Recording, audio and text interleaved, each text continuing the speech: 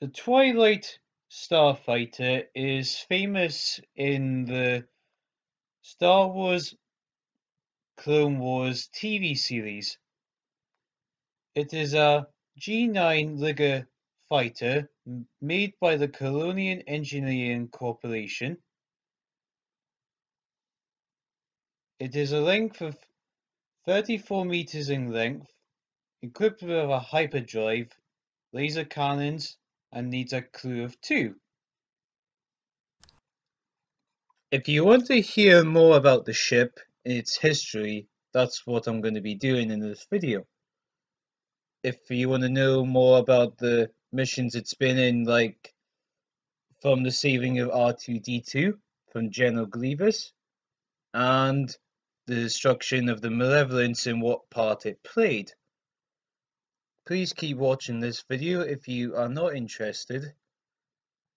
Very well. As I said before, the ship has laser cannons and a hyperdrive, but the Twilight had one main wing and a reactable second wing. The second wing was smaller. The wing gave extreme maneuverability along with its along with its capability to move fast in small places. The ship comes equipped with the three blasters, one located on top of the ship, one on the big wing on the well, the left, and one in the rotatable wing below, which the rotatable wing could be packed into the big wing to make it easier for landing. It got upgraded by Anakin Skywalker, which gave it multiple abilities just when it was used in the Republic's Grand Army during its service. The first time we ever see the Twilight spacecraft is on is after the Battle of Teth, or maybe I should say during the Battle of Teth. On a desperate rescue mission to save Jabba the Hutt's son, the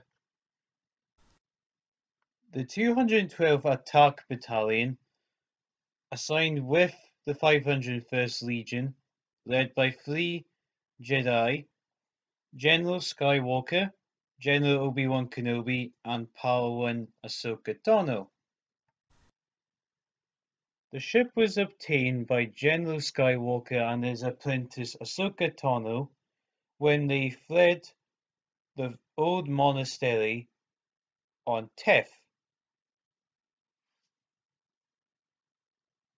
and then they made their way from Teth all the way to Tatooine, and then the ship crashed into the sand dunes mm, to a malfunction of the engine or some sort of problem which is unknown of.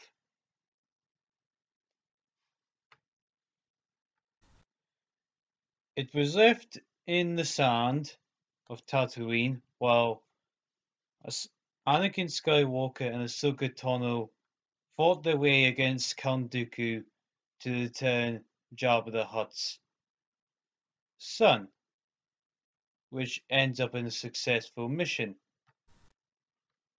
After that was over, the ship was recovered by the Grand Army of the Republic and then given over to Anakin Skywalker as his personalized ship throughout many missions. The Twilight spacecraft, as owned by Anakin Skywalker, had seen its part done within the Clone Wars, going wherever he went as its personal ship that would maybe require assistance for troop deployment from his ship, or so on it depends what happened within the three years of the Clone Wars. In such events,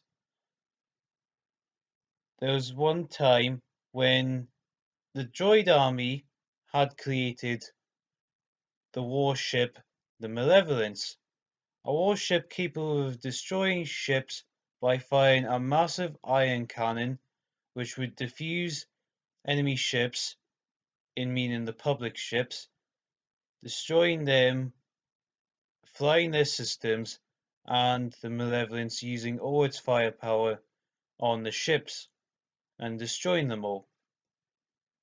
When the Malevolence got destroyed, just destroying the weapon, the ion cannons, it was in major damage, and then unexpectedly, Senator Padme Amidala, with accompanied by C-3PO and R2-D2, will come along with this. They got caught into the middle of the battle, and then they got tracked into a tractor beam onto the Malevolence. So Anakin Skywalker and Obi-Wan Kenobi took the Twilight Starfighter, made their way into the Malevolence, and then came out in one piece. So when the Malevolence got destroyed, they would never be part of the disaster, which was to come of the massive warship. Another time the ship was used was in when Hondo Oka, I believe I'm saying his name correct, a pilot captain, captured Count Dooku and he also was able to capture Anakin and Obi-Wan Kenobi. By doing this, Anakin and Obi-Wan used the Twilight, landed at Hondo's pilot base, and then got captured as a bargaining deal for the Republic. And within the time they were captured, everyone escaped without any issues, without and also without Count Dooku himself. He ran off in a pilot's ship. It was used in a mission to save R2-D2 from being captured by the Separatists during a battle when Grievous was destroying enemy fleets vastly without stopping, which was causing problems for the Republic. And when Anakin Skywalker went into battle, his ship got damaged and R2 was lost. And then they used the twilight to search for him in the debris. He was not there. And then the ship was used to go to a vast moon in another system which had a droid listening outpost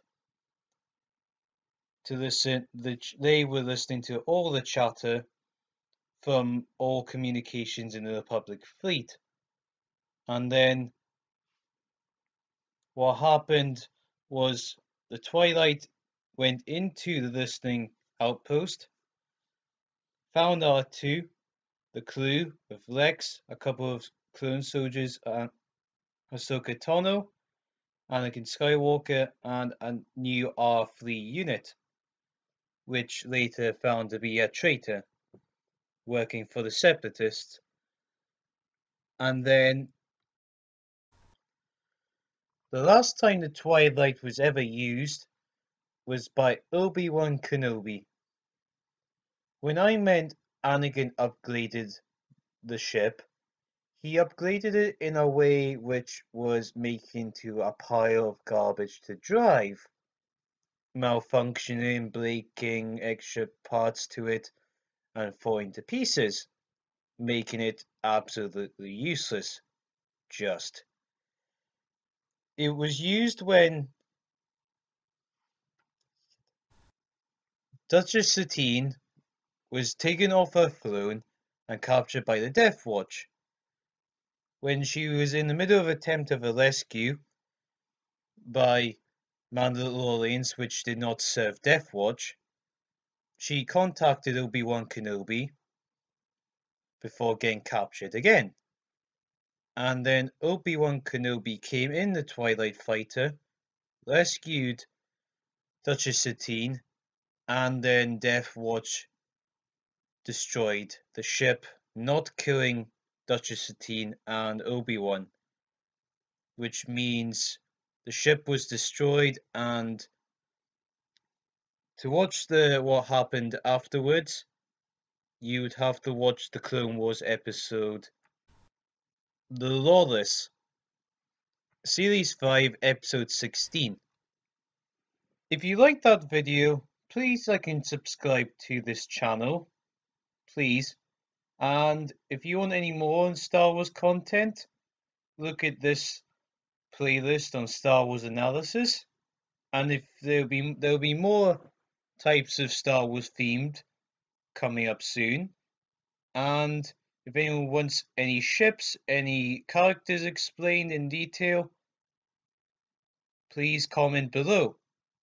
Thank you and may the force be with you.